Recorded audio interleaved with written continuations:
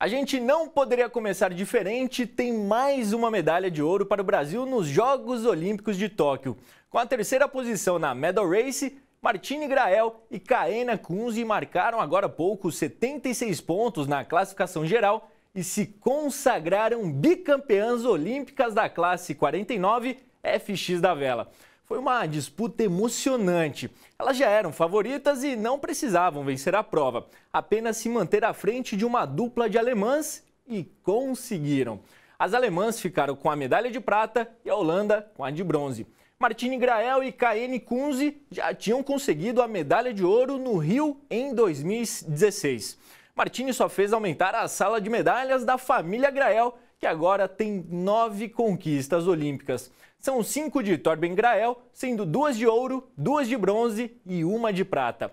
Lars Grael, irmão dela e irmão dele, e tio de Martini coleciona duas medalhas de bronze.